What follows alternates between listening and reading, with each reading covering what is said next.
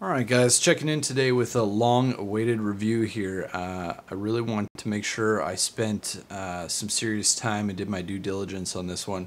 Um, this was a review that I was really excited about, and I, I know several of you are as well. Uh, this one is the Model O minus um, from Glorious Gaming. Um, obviously, a, a direct competitor to the Ultralight 2 that I am really fond of. And uh, I am going to get pretty nitpicky on this mouse. Um, so I'll start with saying it's a great mouse. So I, I do want to get that out of the way. It's a fantastic mouse.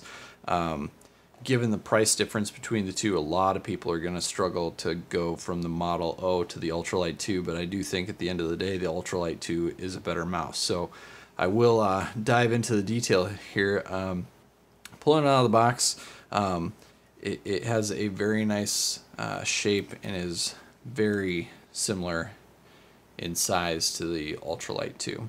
It is just a tad longer. Um, weight wise, it feels outstanding. I mean, I think you, you, get to a certain point and they're not really that distinguishable. Um, they're both just two very lightweight mouse uh, mice. The cables, um, again, this one, uh, the Model O minus has that real um,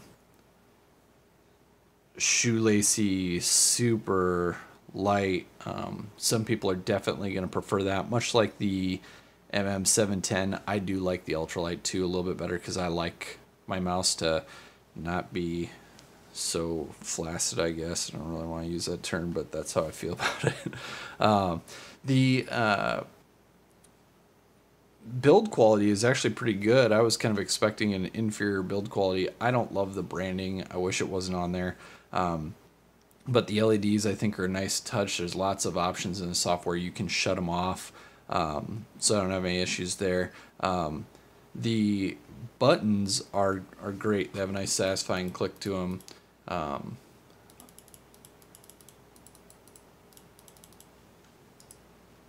I do prefer the Ultralight 2 click, but it's, I mean, barely.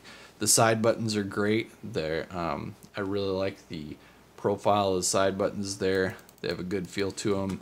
Um, no issues that way. Um, again, I think I slightly prefer the Ultralight 2, but it's very, very close. Um, the extra length for me is not ideal. It's it's very odd. Um, again, my hand is just over 19 centimeters long, like 1905, um, and like 11 cent, a little over 11 centimeters wide. Um, and the way I grip the mouse, um, it actually ends up coming too too far back into my hand uh, for my taste. I really like the smaller mice uh, lengthwise. I prefer the length of the um, G305. Um, if you were going to um, get that picky, again, we're talking great shape, great size. Um, if I bought the gl- the glorious Model O minus in a vacuum, um, I would love it. I mean, it's a great mouse, um, especially for the money. I, I really enjoy it. the The DPI steppings are fantastic. You get the 400, 800, 1600, 3200 fully customizable out of the software. Um, the I'm a big fan of concave on the um, left and right triggers. The uh, the Model O minus is just not quite as concave as the Ultralight 2.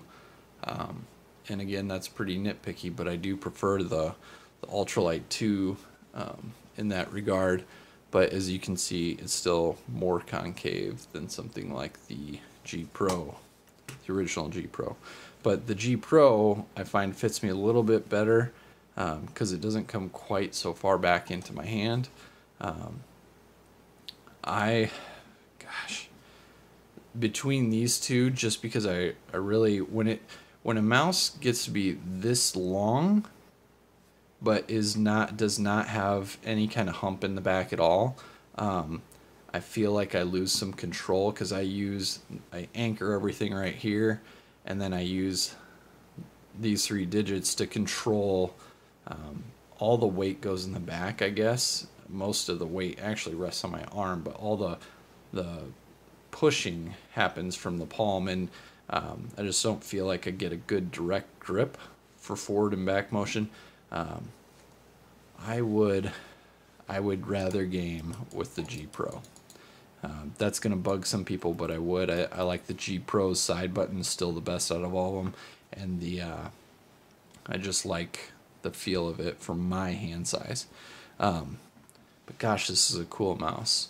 Um, I just wish that this had a little bit more rise to it. This is too flat.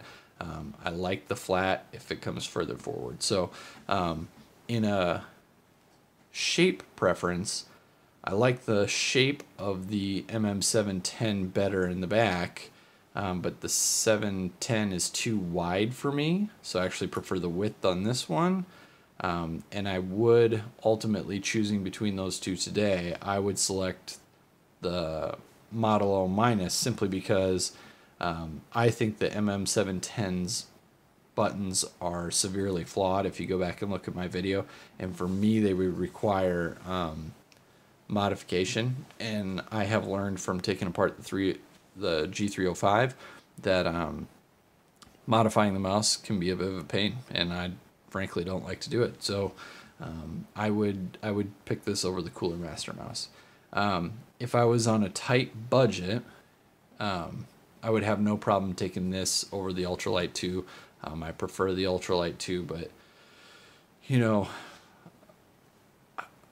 I guess if for the you can get this now um, through a third party, um, typically unopened for around 100, 110 bucks, uh, which is still pricey, but I do think it's worth it.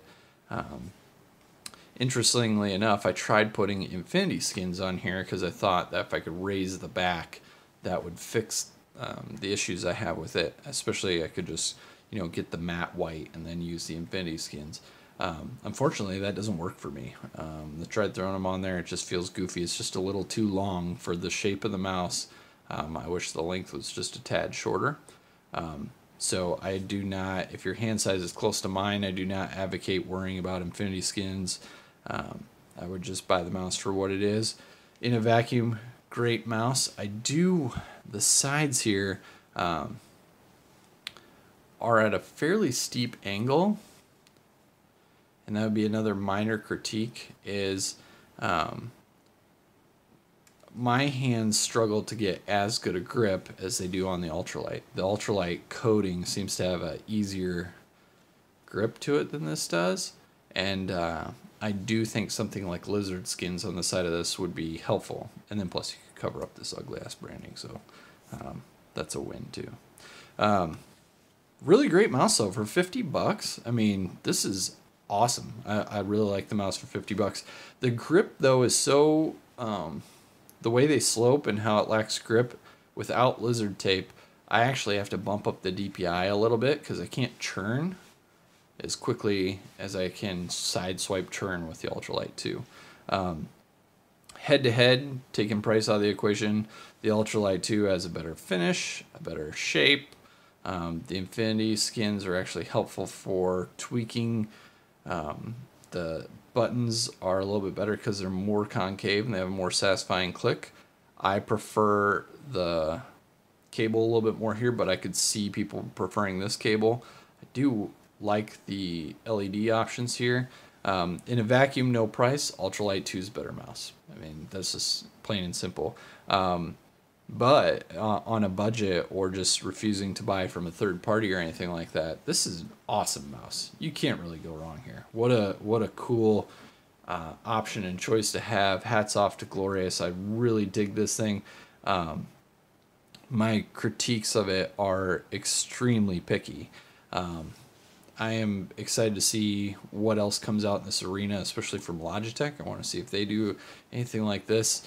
Um, I'm still trying to get my hands on a Viper to test out because um, I do want to try one of those as well. But uh, yeah, end of the day, great mouse, just not an ultralight 2 killer, so to speak. So if you guys have questions or comments, please drop them below. I love interacting with you and I enjoy the feedback. Take care.